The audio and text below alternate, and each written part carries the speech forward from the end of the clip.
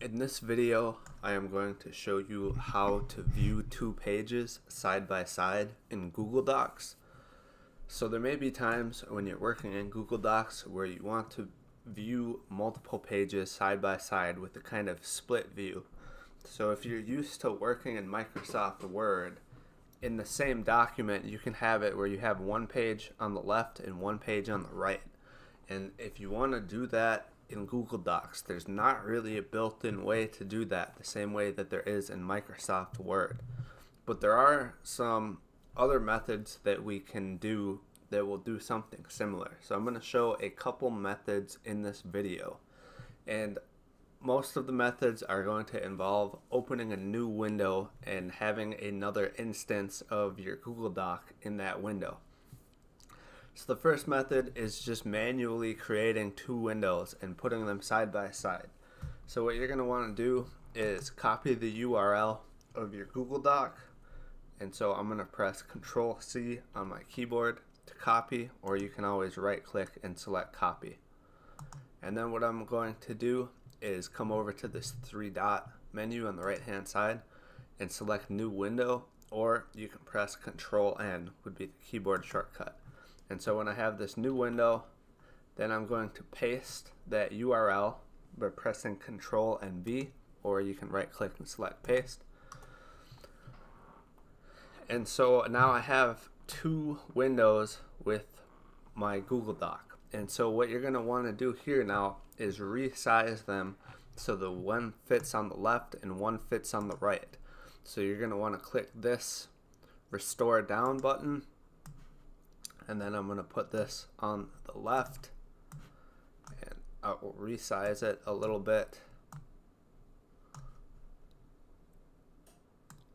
by clicking on the edge and dragging. So you see I'm clicking in the corner and I'm dragging it to resize it. And then I'm going to click my other window and do the same thing.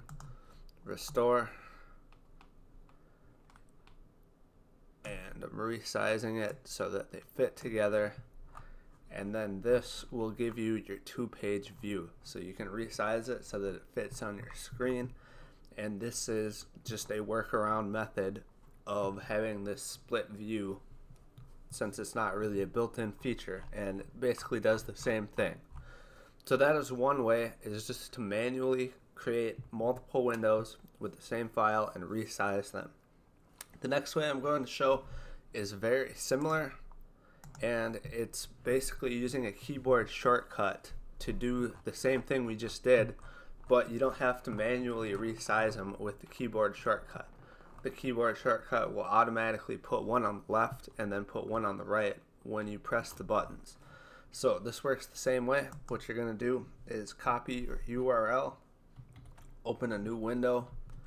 Now I have two. And so what I'm going to do is I'm going to select one of these so I have one, and then what you're going to do is press Windows and the left arrow key, and that's automatically going to put it on the right. And then what you're going to do is open the second one, Windows key, right arrow, and this will automatically put it on the right. So Windows key left arrow will put it on the left, Windows key right arrow will put it on the right, and then it is automatically fit to your screen size and that is a more efficient way to create this side-by-side view.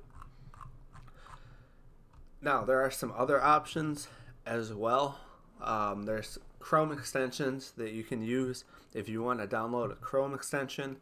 One of them is called Tab Resize Chrome extension. There's another one called Tab Scissors Chrome extension. And so if you want to use a Chrome extension, what you would want to do is open the Chrome Web Store and search for either of these extensions. And from there you can install it and follow the guides. And you can use the extension to create that split screen view and adjust your layout. And they have some other features with those extensions if you want to try that. Um, really the best method that you do for this is going to kind of depend on several things such as the size of your screen or the kind of computer you are using so for example, I have two monitors on my computer And so really, if I was doing this, I would just open one and put it on one monitor, and I would open the other and I would put it on the other monitor, and then you have two um, two open with the full view of each, as opposed to this where it's resized to fit half the screen. So really, it's going to depend again on the equipment you have um, and kind of personal preference which method you end up doing. So give both methods a shot. Um, if you really want, download the Chrome extension and give that a try too and see which one you like best. But that is it for this video. Let me know in the comments if you have any questions. Thank you for watching the video. If you haven't already, make sure to hit the subscribe button. If you have any questions or content suggestions, just let me know in the comments and I'll try my best to answer everyone.